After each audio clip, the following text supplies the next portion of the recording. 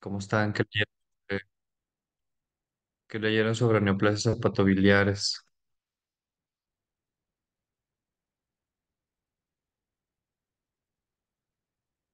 No, no, creo que no me permite compartir. Ah, ya.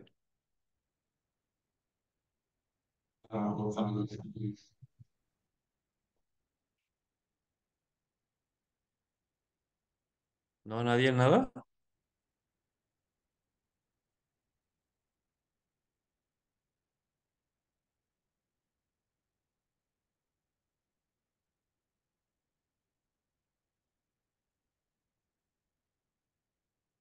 Bueno, pues entonces van a tener que creerme porque si nadie leyó nada no se puede discutir. Este, por favor, dejen sus cámaras encendidas.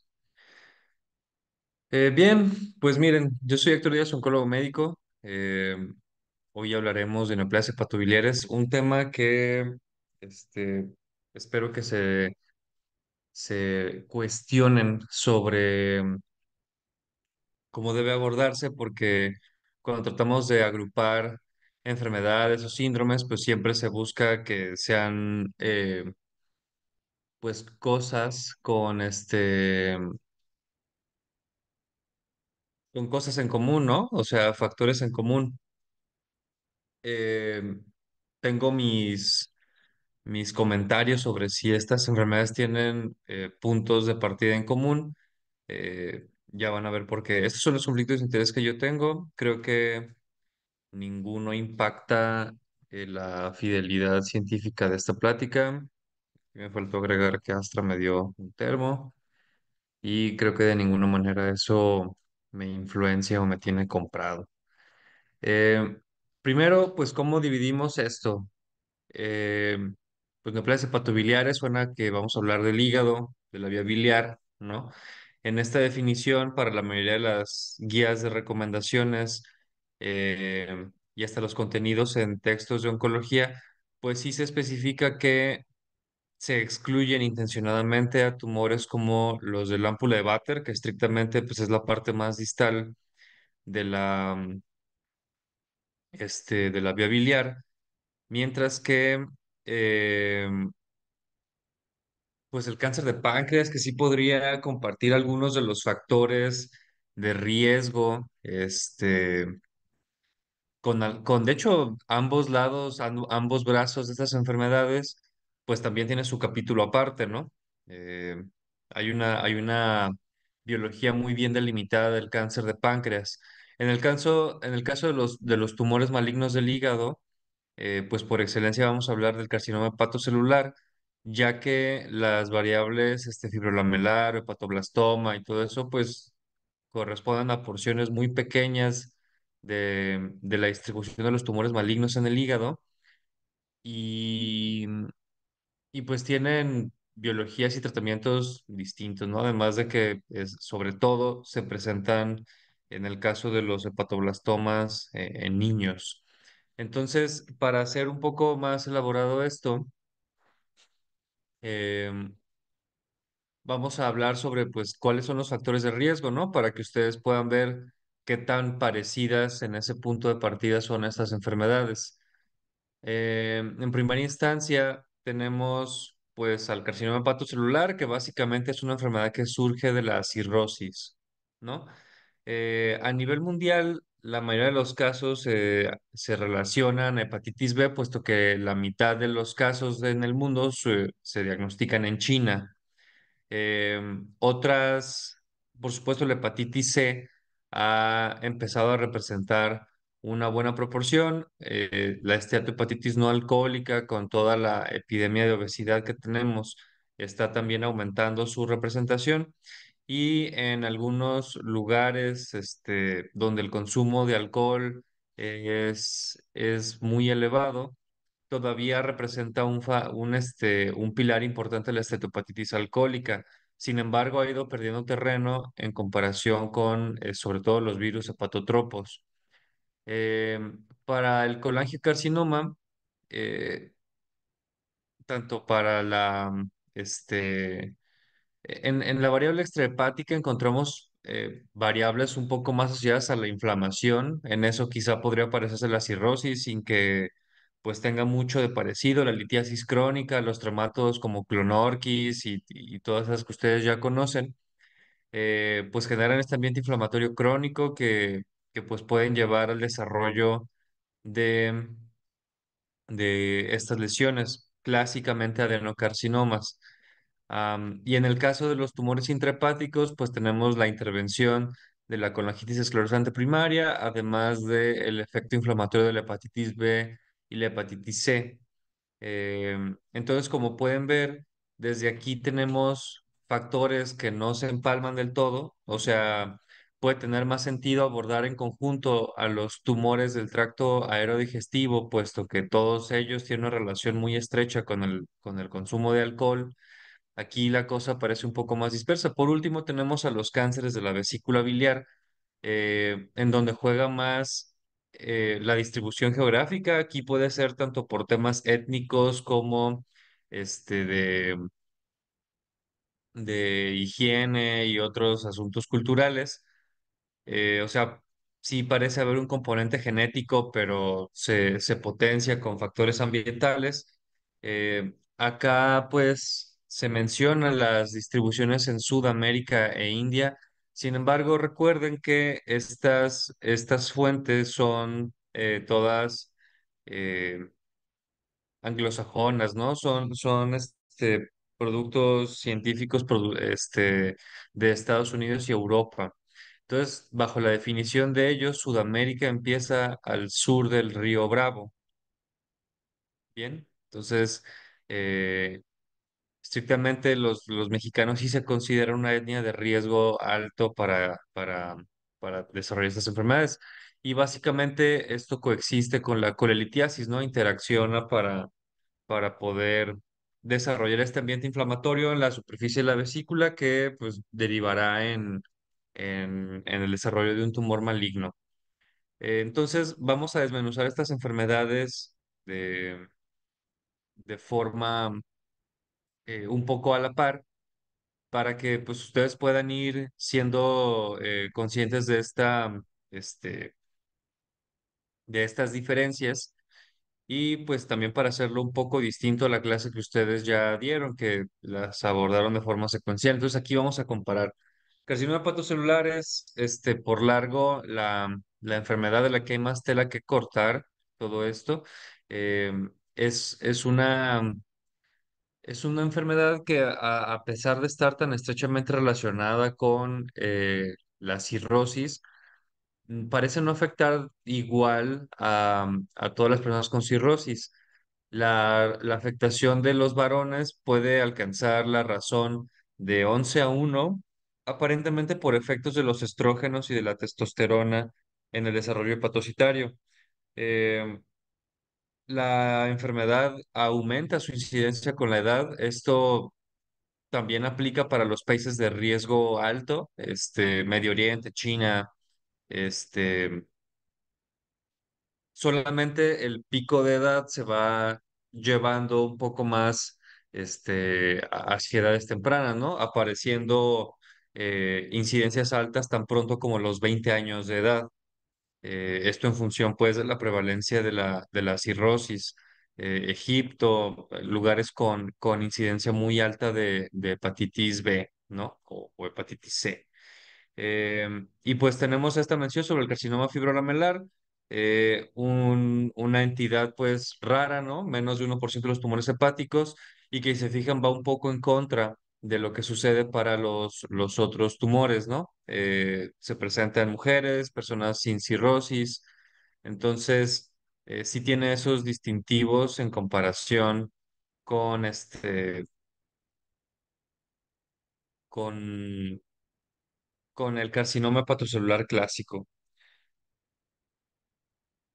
Para el cáncer de la vesícula biliar, pues como ven aquí también es distinto, la, epidemiología puede o parece eh, seguir a la de la, pues, los trastornos de la vía biliar, ¿no? La colelitiasis sobre todo. Entonces afecta más frecuentemente a las mujeres, es de los pocos cánceres que es más frecuente en mujeres. Tiene una incidencia alta en nativos norteamericanos y mexicanos. Esto obviamente son, son este, por series de, de, casos identificadas en, Estados Unidos.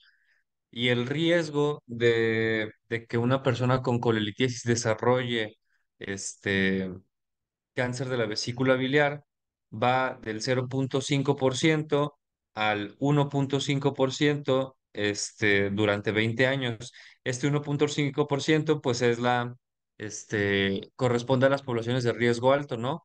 Bolivia, Chile, este, prácticamente toda, toda Sudamérica. En el caso de, Estados Unidos, eh, queda claro, no, o al menos a mí no me queda claro si esta mención especial de los mexicanos es por su tendencia a llamar a todos los latinos mexicanos o si realmente son los de ascendencia mexicana. Eh, es un, ah, es un chiste doloroso de decir, pero que sí lo hacen, ¿no? Todo el mundo recordará este encabezado de sus Mexican Countries. Entonces, para ellos los mexicanos tienen una incidencia alta. Tendría, habría, habría que revisar bien esa, esa estadística. Eh, Por su parte, el colangiocarcinoma, pues es 3% de las neoplasias gastrointestinales, o sea, debe representar una incidencia considerablemente menor a la hora de, tomar en cuenta todos los tumores, o sea, son enfermedades que en su conjunto deben rondar el 1% de la incidencia de cáncer. Eh, ha habido un aumento en la incidencia de forma paulatina en, la enfermedad intrahepática, mientras que la extrahepática parece estar disminuyendo su, su proporción.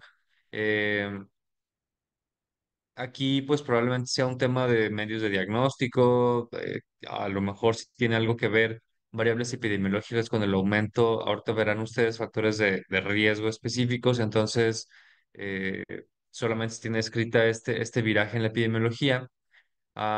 La edad media al momento del diagnóstico sí es parecida a la de los otros tumores, es entre los 50 y 70 años.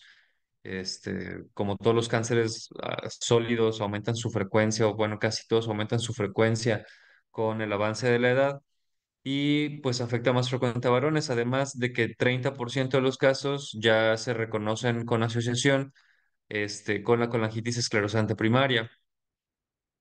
Entonces, como ven, eh, pues los aspectos epidemiológicos son muy dispares para este grupo de tumores conocidos como neoplasias hepatobiliares. Eh, vamos a ahondar sobre los, los relacionados con el carcinoma hepatocelular. Eh, esto sí es bien importante que los conozcan. Eh, y recuerden, hepatitis B, hepatitis C, esteatohepatitis no alcohólica, síndrome metabólico en general, eh, la diabetes, que, que parece tener efectos empalmados o, o factores en común con la hepatitis no alcohólica, todos estos derivados de la obesidad y, y- y estos estilos de vida occidentalizados, pues parecen ser la, este, la- las principales causas, ¿no? de- de- del carcinoma hepatocelular. Eh, muchas de esas cirrosis que antes se conocían como criptógenas, pues ustedes ya saben que ahora son cada vez más atribuidas a eh, pues personas que tuvieron sobrepeso, que tuvieron síndrome metabólico toda su vida y pues eso les generó eh, la predisposición a la cirrosis. Hay después de esto entidades menos frecuentes como la hemocromatosis hereditaria, la deficiencia de alfa-1 antitripsina, eh, y las exposiciones a aflatoxinas, arecolina, que es un alcaloide, y las microcistinas. Eh, todas ellas asociadas, como ven, pues a contaminación de, de alimentos, de agua, de, de algo relevante. Entonces, bueno, la arecolina, pues es un, es un, este, es un compuesto, ¿no? Que se encuentra dentro de la, de la, de la nuez de la India.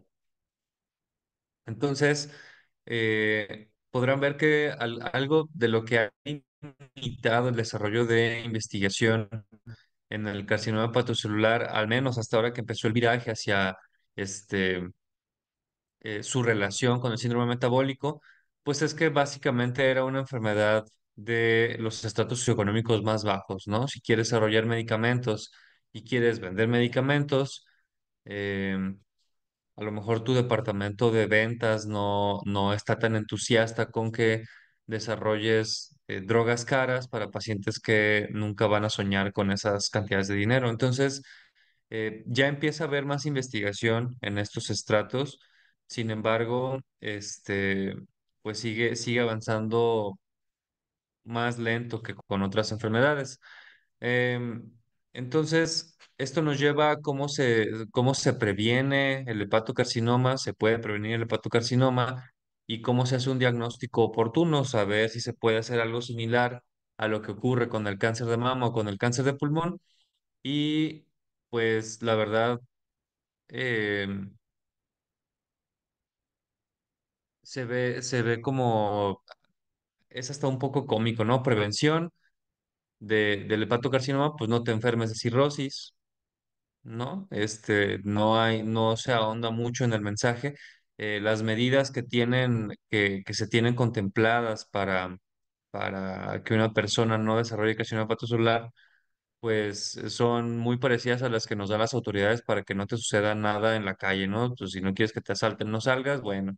Si no quieres que te dé carcinoma hepatocelular, no te enfermes y si tienes alguna hepatopatía, haz todo lo que puedas eh, para evitar la progresión, es decir, en el caso de la cirrosis por alcohol, pues eliminar el consumo de alcohol, este, hacer el uso concienzudo de agentes con potencial hepatotóxico, hepatotóxico, hablando de medicamentos, eh, el, el tratamiento oportuno de la de la, de la hepatitis o la vacunación de forma masiva, eh, la evitación de la reutilización de, de, de agujas, perdón, en, en el caso de los virus hepatotropos, todas esas medidas que sí ayudan a prevenir. Entonces, eh, pues ahora sí que como estudiantes, eh, el mensaje aquí es sencillo, ¿no? ¿Cómo se previene el hepatocarcinoma? Pues prevén la cirrosis. No, no hay mucho, este, parece no haber mucho que discutir ahí. Eh, en donde sí podemos ahondar un poco más es en qué poblaciones se, se recomienda hacer esta evaluación intencionada en personas asintomáticas. Eh, para empezar, la modalidad recomendada suele ser eh, la combinación de ultrasonidos hepáticos seriados y determinaciones seriadas de la alfa-fetoproteína. La estandarización, no me preguntan mucho, parece no haber un consenso sobre cuáles, cuáles son los niveles de corte, cuáles son este, las, las modalidades más recomendadas o periodicidad para, para ello. Eh, hay recomendaciones un poco dispares según la asociación que ustedes revisen. Entonces, el mensaje aquí va a ser dos poblaciones diana, personas con cirrosis y dentro y un subgrupo de personas sin cirrosis, pero que tienen hepatitis B. Recuerden que en la fisiopatología de la hepatitis B eh, de forma similar a lo que hace el VPH, es un virus de, de ADN capaz de insertar este, fragmentos de su genoma, de su genoma, perdón, en, en el del hospedero. Entonces, este, pues parece que eso le puede generar una, además de que pues es el virus hepatotropo más frecuentemente relacionado con el desarrollo de, de carcinoma hepatocelular. Entonces, en personas con cirrosis, eh, de forma también muy sencilla, con mucho sentido común, vamos a delimitar los esfuerzos a las personas que tienen un estado de desempeño, un estado general de funcionamiento hepático suficientemente bueno para que les dé una expectativa de vida en la cual se alcanzan a beneficiar del tratamiento del carcinoma hepatocelular, ¿sí? Entonces, probablemente esta intervención esté restringida a personas con eh, que se encuentran en los estratos A y B de la escala Child, ¿sí? Entonces, eh, sí puede sonar un poco cruel, ¿no? De hablar de personas en las que ya no, ya no vale la pena, ya no tiene beneficio, pero dado que el estado de funcionamiento hepático representa el principal factor pronóstico para eh, las personas con carcinoma hepatocelular, em, pues no sé si también sea más controversial el llegar con una persona y decirle, oye, pues tienes cáncer de hígado, no vamos a hacer nada porque tu cirrosis ya está muy avanzada, ¿no? Entonces, incluso para temas de inversión de recursos públicos es controversial. En el caso de las personas sin cirrosis, pero con hepatitis B, en la literatura extranjera se recomienda considerar a tres grupos. Las personas asiáticas, eh, aquí con diferentes cortes de edad, 40 años para los varones, eh, 50 para las mujeres, las personas con ascendencia africana y las personas con antecedente familiar de carcinoma hepatocelular. Esos son los tres grupos de personas sin cirrosis en los cuales se recomienda estar haciendo escrutinio eh, para el carcinoma hepatocelular. Eh, hasta este punto, ¿les queda alguna duda, pregunta, reclamo?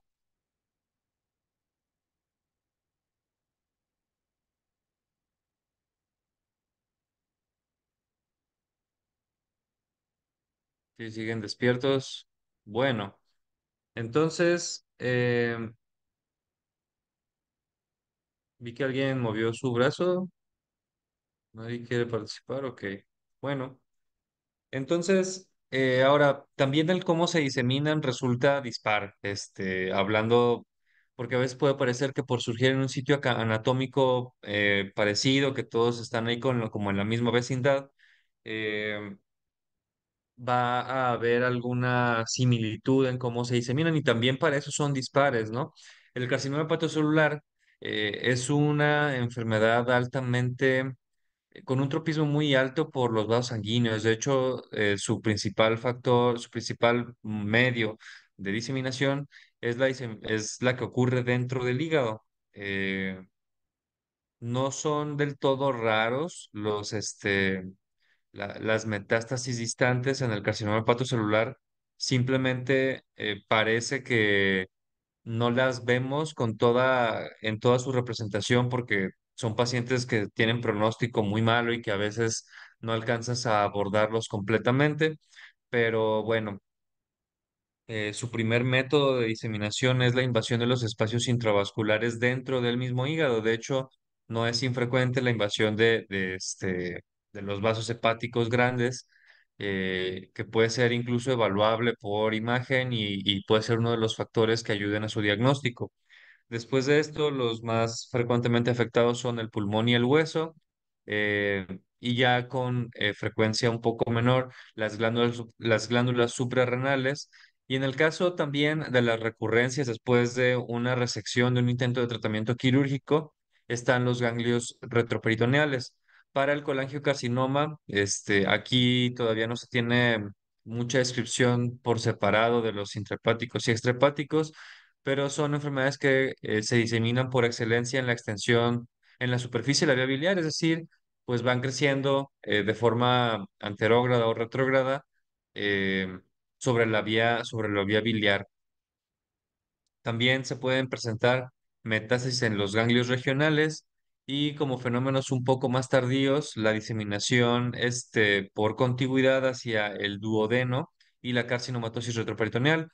Por su parte, el carcinoma de la, de la vesícula biliar se, se disemina por excelencia a los ganglios regionales y puede presentar extensión directa al hígado, ¿no?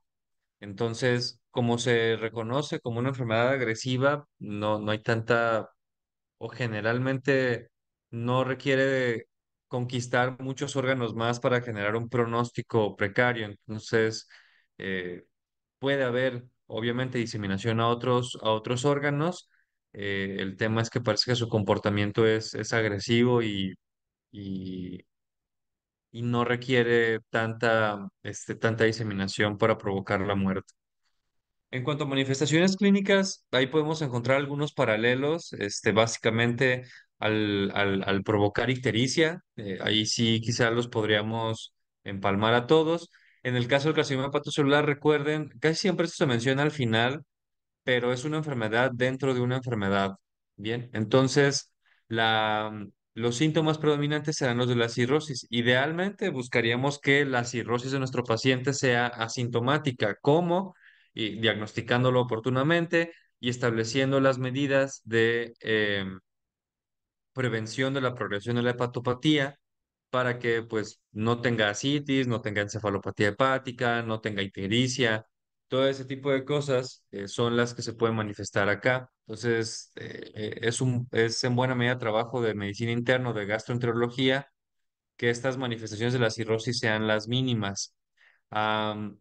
Cualquier deterioro de la función hepática en una persona que tiene ya cirrosis conocida debe ser motivo de desencadenar el algoritmo de diagnóstico para personas con carcinoma hepatocelular. O sea, debe motivar la evaluación por imagen. Entonces, este, ¿cuáles son estos factores que pueden apuntar a que una persona conocida con cirrosis, este, pues tenga carcinoma hepatocelular, pues malestar general, anorexia, dolor abdominal, plenitud abdominal, que puede ser tanto por el deterioro de la cirrosis como por este y la ascitis, ¿no? Con, como por el, crecimiento del tumor este, dentro de estas bandas fibrosas que, que son en el escenario de la fibrosis, pues digo, de la cirrosis, lo más característico.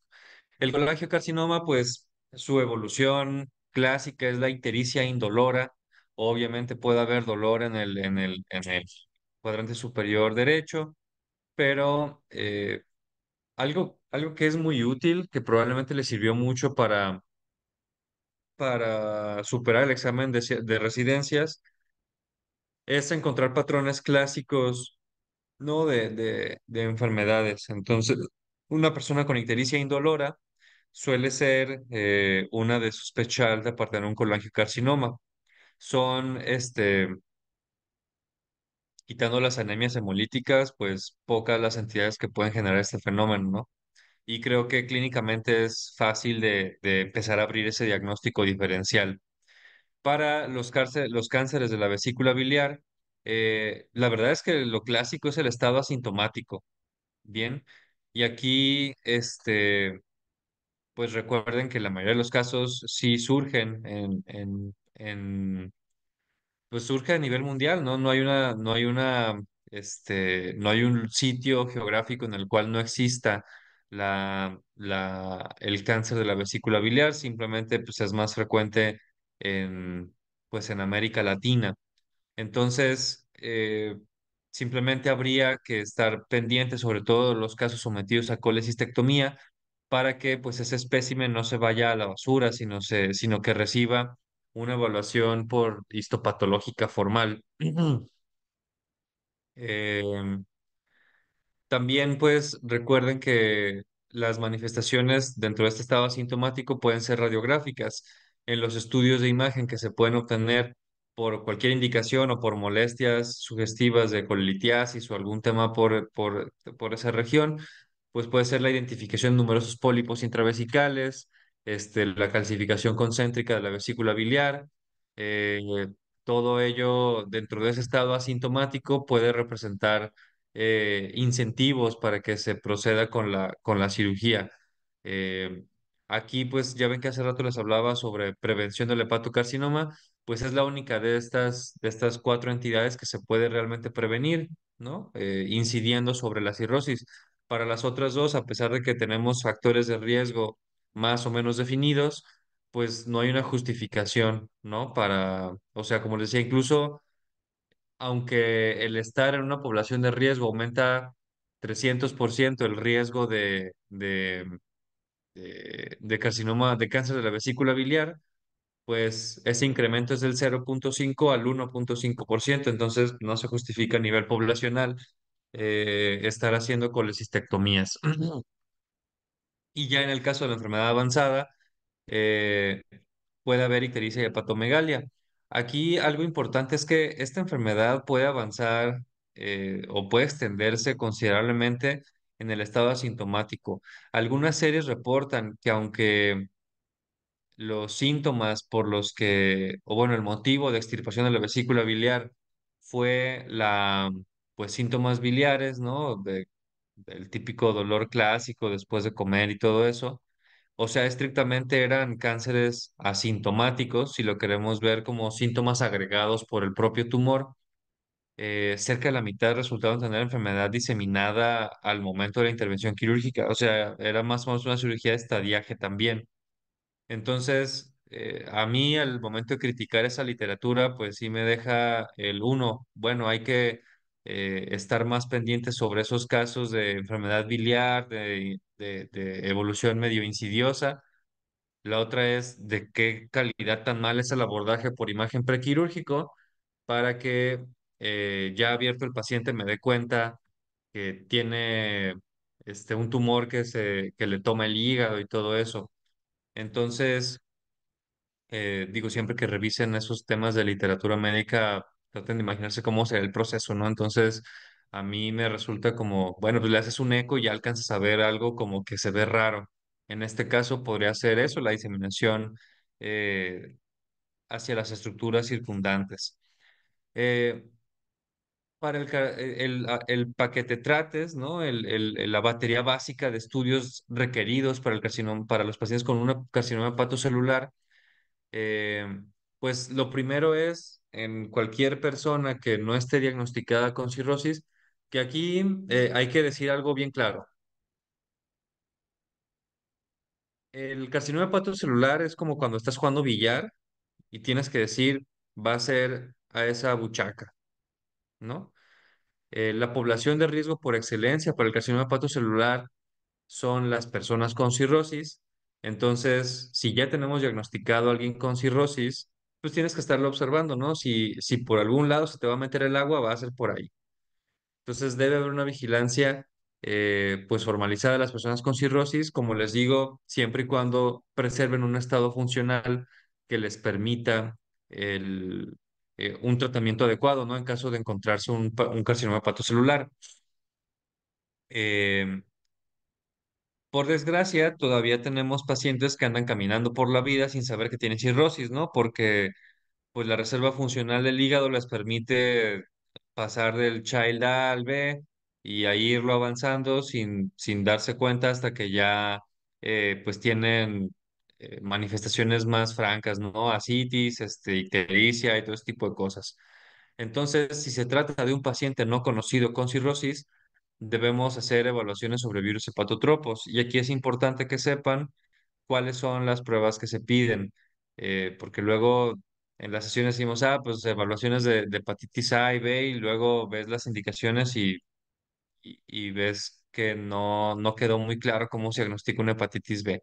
Entonces, los reactivos que ustedes deben pedir son el antígeno superficial de la hepatitis B, los anticuerpos contra la, el antígeno nuclear de la hepatitis B, este, como ustedes son regios, pues el antígeno core, ¿no? Este, y de hecho también es más probable que les entiendan así los del laboratorio.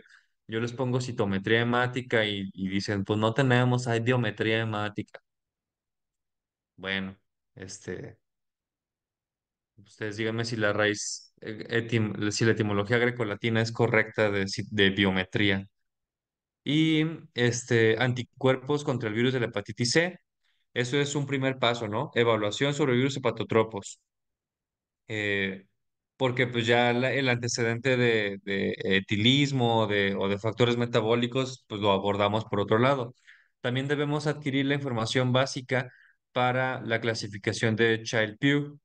Entonces, este, Recuerden que esta, eh, esta evaluación incluye tanto pruebas básicas del perfil bioquímico, que ustedes pueden pedir muy sencillo en, cualquier clínica, pero también requiere una evaluación este, médica, ¿no? Conocer si existe oleaje, saber si hay ascitis, incluso puede recurrir a estudios de imagen para los, los puntos que corresponden a la ascitis y eh, hay que saber explorar la encefalopatía hepática. Recuerden que existe el, el apartado de encefalopatía hepática mínima, eh, en la cual no hay este, afectaciones de los procesos mentales superiores, sino que las manifestaciones más precoces son en la, en la dirección del tono muscular y de los movimientos.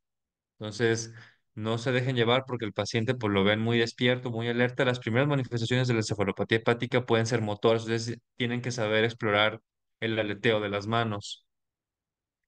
Eh, la, la alfa-fetoproteína tiene un valor mm, un poco mejor establecido para el diagnóstico y para el seguimiento. Es decir, hay pacientes, aproximadamente 50% de los que tienen carcinoma hepatocelular, que, en los que se eleva la alfa-fetoproteína y pues ahí sirve como un parámetro, ¿no? Para ver cómo sube y baja durante los tratamientos.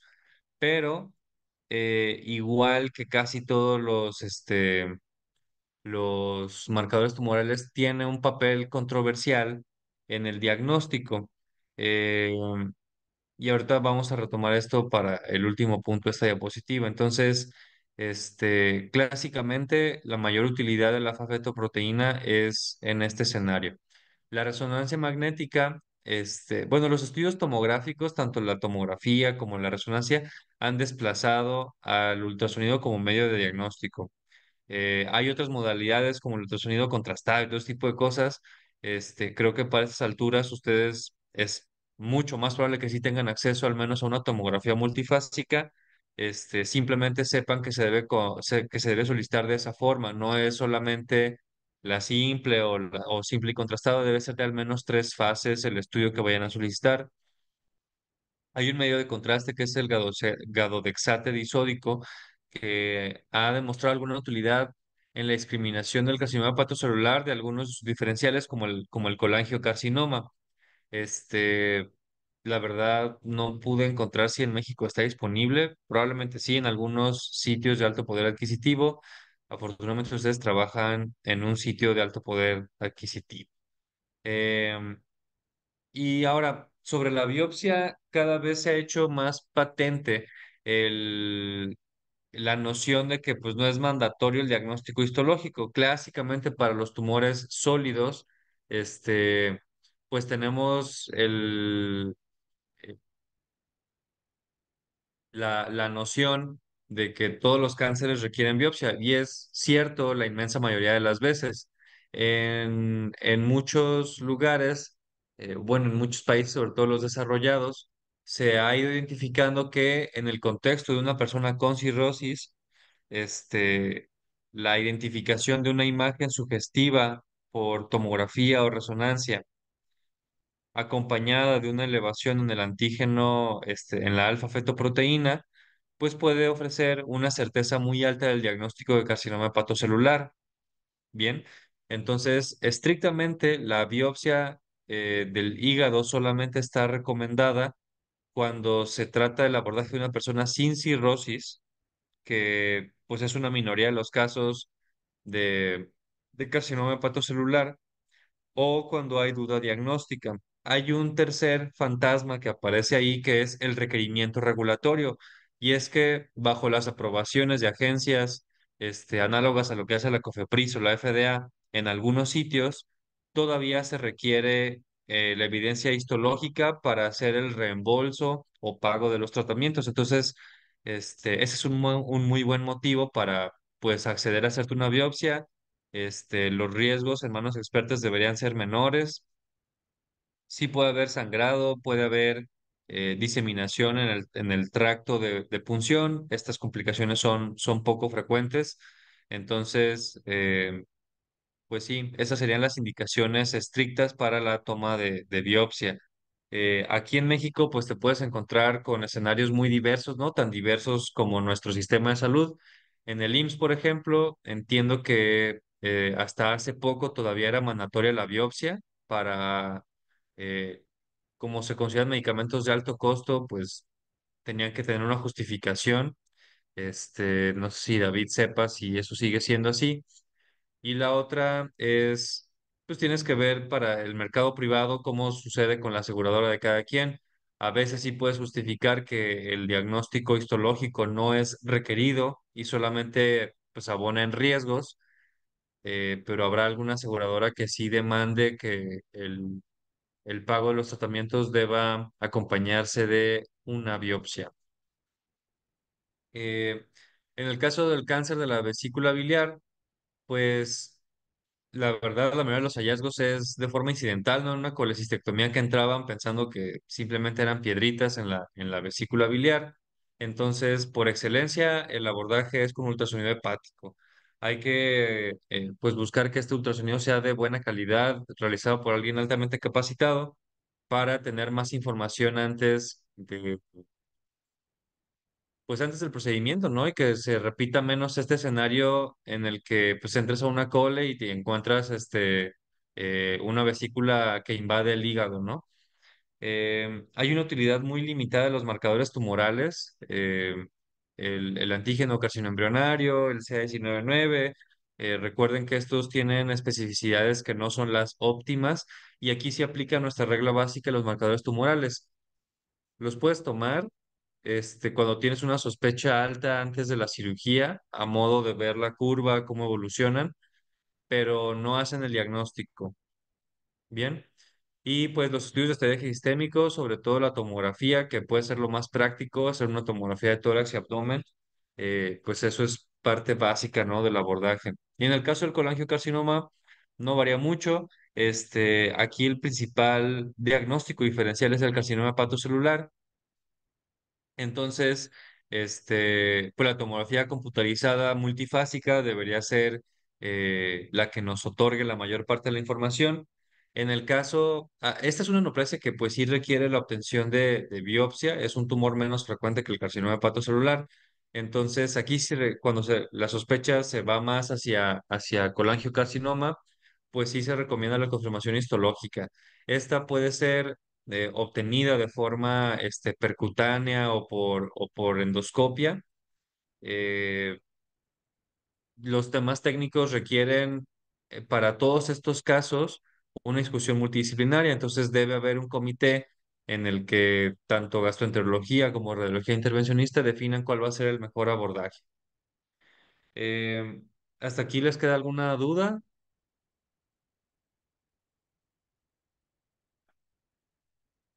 Bueno, supongo que el silencio significa que no. Entonces, eh, para el carcinoma hepatocelular, este, el sistema que ha logrado mejor reproducibilidad y que pues hasta ahora se encuentra en todas las guías es el, el de, el de Barcelona, ¿no? Este pues tiene la gran ventaja de que ayuda a delimitar intervenciones terapéuticas. Para fines pronósticos, el sistema CLIP, desarrollado en Italia, parece tener mejor desempeño para los estadios avanzados, o sea, aquellos que van del Barcelona C en adelante, las expectativas de supervivencia se estiman mejor con el sistema CLIP. Este, entonces, Barcelona se comporta muy bien para casos que pueden ser operables en términos de pronóstico, pero en términos de manejo, pues es una muy buena guía en todo el espectro de la enfermedad.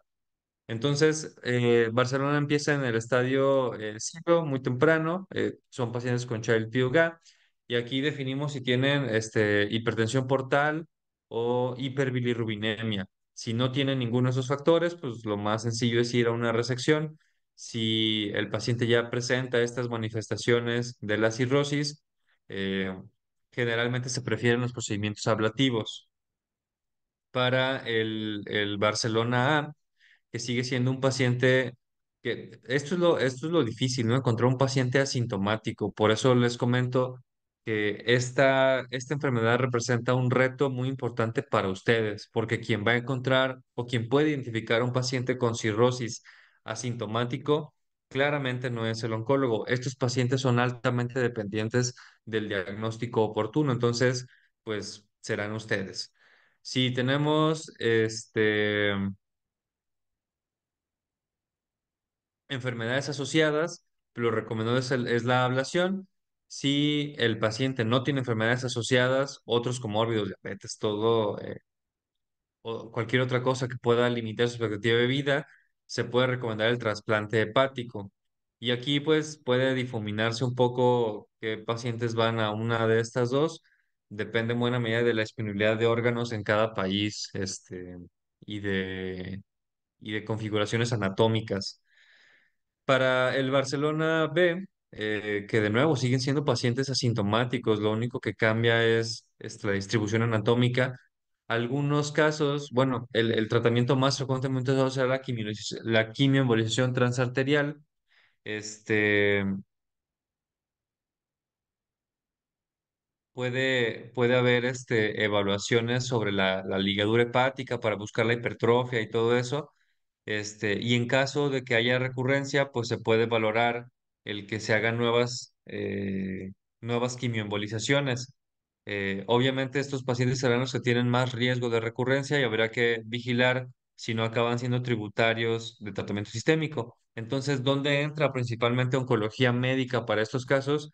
En la enfermedad este, Barcelona C, donde ya tenemos pacientes que pueden tener síntomas y siguen requiriendo un buen estado de desempeño para poder quedarse aquí, un, un este, puntaje de Child que los, que lo- lo- los encuentre en, las, los estratos A o B pues ya en la invasión portal los excluye de las posibilidades intervencionistas o quirúrgicas, este, y las metástasis distantes, ¿no? O, o ganglionares. Entonces, en la actualidad, los tratamientos por excelencia son las combinaciones de bevacizumab con atezolizumab o el duplete de inmunoterapia con tremelimumab, que es un anti-CTLA-4, con durvalumab. En ambos casos, estas terapias se continúan hasta la progresión o toxicidad inaceptable a modo de una, de una primera línea de tratamiento formal. Ante la progresión a estas, a estas modalidades terapéuticas, pues se puede considerar el uso de regorafenib, cabozantinib, lenvatinib, sorafenib, todos ellos hasta la progresión a toxicidad este, inaceptable. Y estrictamente no hay un estándar para tercera línea de tratamiento, eh, dependerá de en qué estado encontremos a cada paciente, pero muchas veces la respuesta correcta será este, pues mantener al paciente en cuidados de soporte, dada la ausencia de evidencia sobre el beneficio de tratamientos más allá de esto. Eh, los pacientes con eh, enfermedad de estadio D, que son los que tienen ya un estado de desempeño más deteriorado, o este, una función hepática más deteriorada, serán solo candidatos al uso de terapias de soporte. Eh, ahí, clásicamente hemos usado más los criterios de Milán para elegir pacientes este, como elegibles a un trasplante hepático, que aquí pues puede, puede entrar el, el razonamiento de matar dos pájaros de una pedrada. Este, clásicamente ustedes verán pues que se buscan pacientes, hay, hay este, tres rubros, ¿no? Sobre la lesión, sobre las manifestaciones extrahepáticas, este, sobre todo de la cirrosis, y sobre la invasión macrovascular. Entonces aquí dice o una lesión de menos de 5 centímetros o que sean tres o menos lesiones cada una de menos de 3 centímetros, ¿sí? Eh, esto pues puede representar, suena fácil, pero es un reto muy grande encontrar pacientes tan a modo para un tratamiento de esta naturaleza, eh, porque aparte los tienes que meter como a una, eh, a una modalidad especial del- de las listas de espera para órganos, y pues el tema es que culturalmente no en todos los países es obligatorio o es el, el predefinido la eh, la donación de órganos, entonces hay escasez de órganos. Eh, y además, pues la ausencia de invasión macrovascular, pues, puesto que esto lo requerirán estos accesos para las anastomosis del injerto. Eh, hay varios sistemas para elección de pacientes este, como candidatos para trasplante hepático. El único que se ha comparado de forma prospectiva y formal, pues es el de la Universidad de California, San Francisco, que es una lesión de hasta 6.5 centímetros y hasta tres lesiones, la cual la la mayor no debe ser mayor de 4.5 centímetros y que en total no sumen más de 8 centímetros. Entonces, eh, esto sí requiere una evaluación muy específica. El grupo de pacientes que pueden ir a, a trasplante es el que reporta las mejores supervivencias que pueden llegar a 75% a los 5 años, aunque pues aquí obviamente está el sesgo de selección. Eh, son, son los pacientes que se encuentran probablemente con hepatocarcinomas de crecimiento más lento y que por eso dieron la oportunidad de identificarlos a ese tamaño eh, y también son los pacientes con mejor reserva hepática. Entonces se toma lo mejor de lo mejor en todo este espectro. Si, mientras que si comparamos a los pacientes que van a re- resección y ablación, este, pues lo que se espera son tasas de supervivencia eh, a cinco años de alrededor de 30%. Entonces sí puede sonar un poco contradictorio que los eh, pacientes estadio A les vaya mejor que a los estadios cero si son este, tributarios del eh, del trasplante hepático. ¿Por qué sucede así? Este, no sé, la vida, la vida no es justa. Eh, y ahora, ahondando sobre lo que ocurre para los pacientes con enfermedad avanzada, esto es lo que se ha logrado, como ven, son avances recientes. Hasta hace poco, lo único que nos teníamos que tragar para el carcinoma hepatocelular el sorafenib, que llevaba como 15 años siendo la, la terapia estándar, sin muchas mejoras, y la verdad, este, siendo mejor que placebo. Tiene su mérito, por supuesto, pero pues sí habla de que fue una enfermedad en la que se avanzó muy poco por mucho tiempo. Entonces, como tal, el estándar hasta hace poco era sorafenib, ofreciendo mediana supervivencia que apenas superaban el año, eh, 13.2 meses, contra lo que se logró con atezolizumab. Esto es un ensayo de fase 3 en el cual este, se redujo casi, eh, se redujo poco más de, de, de 40% el riesgo de muerte durante la evaluación del estudio entonces se colocó como un, nuevo estándar este, la combinación de la inmunoterapia tezolizumab y y el antiangiogénico bevacizumab para el manejo de pacientes con este, enfermedad Barcelona C, pero puntajes de Barcelona de, de Child que no excedieran el 7, o sea, los de Child A y los más bonitos de los de Child B. Eh, esa es una ventaja que puede tener sorafenib, que se incluyó pacientes un poquito eh, en, en peor estado de funcionamiento hepático, o sea, los del Child B con puntaje más de 7. Eh, luego tenemos el, el ensayo fase 2 con el cual la FDA aprobó eh, la integración de este, la combinación de tremelimumab con durvalumab, este, en el cual se logró, este, vean cómo el brazo control se comporta de forma muy similar, pero el impacto en supervivencia global pues es menor que lo que se logró con este con bevacizumab y con atezolizumab. Eh, esto al ser un ensayo de fase 2, pues obviamente requiere datos de validación en ensayos más grandes o en seguimientos más largos, pero de primera instancia no parece una terapia con un efecto tan profundo como lo fue el duplete de bevacizumab con atezolizumab. Eh, para el manejo de los, de, los cánceres de la, de la vesícula biliar y de este, los colangiocarcinomas, pues la guía europea no se mete en problemas y básicamente a pesar de que son enfermedades diferentes, los pone todo dentro del mismo costal y dice, bueno, vamos a dividirlas por enfermedad temprana, localmente avanzada o, o metastásica. Este, la neoadyuvancia solo está validada para los cánceres de la vesícula biliar y son esquemas en los que predominan los antimetabolitos, la capecitabina como una fluoropirimidina, este, la gemcitabina, este, como una, este, una, un análogo de purinas, este, ya en este caso ayudado con, con cisplatino. Eh, recientemente se recomendó o se logró la autorización de durvalumab o una inmunoterapia para este escenario. Eh, en el caso del colangiocarcinoma intrahepático, se puede considerar este, que después de este tratamiento ya procedan a cirugía y la mayor parte de las caracterizaciones pues están para la enfermedad avanzada. Clásicamente lo que tenemos es un esquema similar a lo que se hace para eh, cáncer de páncreas, este, o cáncer de colon, ¿no? En general, los tumores de la vía biliar responden eh, a la combinación de oxaliplatino con fluoropirimidinas y hay algunas terapias diana dirigidas por mutaciones. Aquí muchas veces el problema pues es el acceso, ¿no? Eh, NSSN que está como en actualización más, eh, más frecuente, sin que eso lo haga necesariamente mejor, y incluye terapias anti-red, pero este año Roche sacó su terapia anti-red de México porque salían muy poquitos pacientes. No los culpo, pero pues ahí, este, obviamente eso dificulta el acceso a tratamientos para pacientes que de por sí tienen pocas opciones.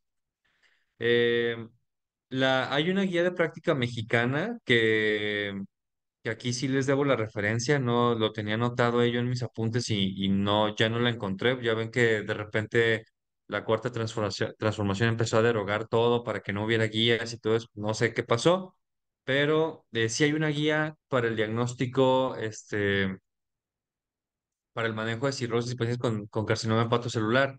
Entonces, ellos recomiendan que una persona que tiene cirrosis o antecedente de hepatitis B o C, vean cómo aquí es diferente para las recomendaciones internacionales, deba vigilarse sin discriminación de edad, como les mencionaba, de que si los asiáticos a los 40, 50 años o los que tienen antecedente familiar, que todos se valoren con ultrasonido hepático. En la guía mexicana no se contempla el parámetro de la, de la alfa-fetoproteína entonces, si, si no tiene nódulos hepáticos, pues lo vigilas otra vez en seis meses. Tiene un nódulo de menos de un centímetro, Este, se hace una vigilancia en seis meses por los siguientes eh, año y medio a dos años. Si, si no hay nódulos de más de un centímetro, pues ya le da seguimiento. Si, este, si sí los hay, pues le haces una, una tomografía de resonancia magnética y ya defines si debes tomar la biopsia o cuál de- debe ser el algoritmo de diagnóstico. Si se desarrolla un, si des- desde el inicio se encuentra un nódulo de más de un centímetro, pues se recomienda la, la obtención de una tomografía de resonancia magnética y aquí pues o confirmas el diagnóstico o no lo confirmas y ya le das este viaje tratamiento o lo mandas a, a una evaluación multidisciplinaria para ver si se requiere o si se recomienda este, la obtención de la biopsia.